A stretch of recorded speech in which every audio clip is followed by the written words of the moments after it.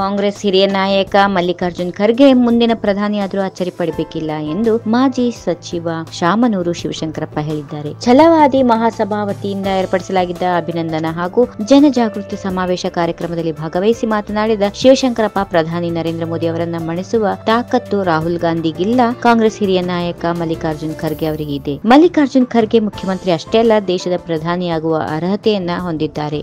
ರಾಜ್ಯದ ಕಾಂಗ್ರೆಸ್ ಅಧ್ಯಕ್ಷರಾಗಿದ್ದ ಮೊದಲು ದಲಿತ ಮುಖಂಡ ದಿವಂಗತ ಬಸವಲಿಂಗಪ್ಪ ದಿವಂಗತ ಕೆಎಚ್ ರಂಗನಾಥ್ ಇವರಿಗೆ ಮುಖ್ಯಮಂತ್ರಿ ಆಗುವ ಅವಕಾಶ ಇದ್ದರೂ ಅವರು ಮುಖ್ಯಮಂತ್ರಿ ಆಗಲಿಲ್ಲ. ಈಗ ಮಲ್ಲಿಕಾರ್ಜುನ್ ಖರ್ಗೆ ಅವರು ಕೇವಲ ರಾಜ್ಯದ ಮುಖ್ಯಮಂತ್ರಿ ಅಷ್ಟೇ ಅಲ್ಲ, ದೇಶದ ಪ್ರಧಾನಿಯಾಗುವ ಅರ್ಹತೆ ಹೊಂದಿದ್ದಾರೆ ಎಂದು ಶಾಮನೂರು ಶಿವಶಂಕರಪ್ಪ ಹೇಳಿದರು. ಈ ವಿಡಿಯೋ ನಿಮಗೆ ಇಷ್ಟವಾದಲ್ಲಿ ಲೈಕ್ ಮಾಡಿ, ಶೇರ್ ಮಾಡಿ, ಸಬ್ಸ್ಕ್ರೈಬ್ ಮಾಡಿ.